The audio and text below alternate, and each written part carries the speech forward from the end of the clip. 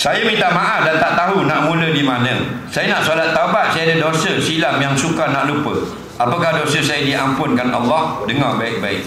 Dosa ada dua. Satu dosa kita dengan Allah, satu dengan manusia. Kalau dengan Allah mudah saja. Iaitu minta maaf pada Allah, menyesal. Okey? Ha, itu taubat kita Allah terima insya-Allah.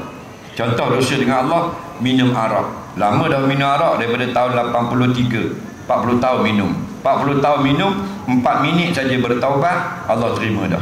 Kerana dosa dengan Allah. Yang susah dosa dengan makhluk. Contoh dia curi motor. Bang, tahun 2010 dia curi motor. 2023 nak bertaubat.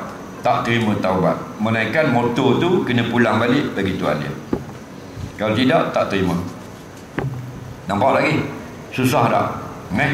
Ha. Tu baru curi motor kalau curi wang negara. Faham lagi nah ha, kalau rasuah dah begitu begini tak kesusah kita. Nah cari sampai jumpa. Tak dia mati dah kena bagi motor tu pada waris dia waris semua tak jumpa semua.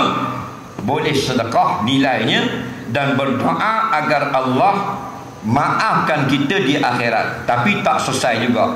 Pada masyar tetap dibicarakan Tuhan akan panggil balik tuan motor tanya maaf ke tak? Kalau maaf selesai satu kes. Kalau tak maaf go to hell. Nampak lagi? Ha, itu susah. Kita ni berebut nak jadi menteri. Kenapa tak? Nah berebut nak jadi. Man wuliya faqad zubiha bi ghairi sikin.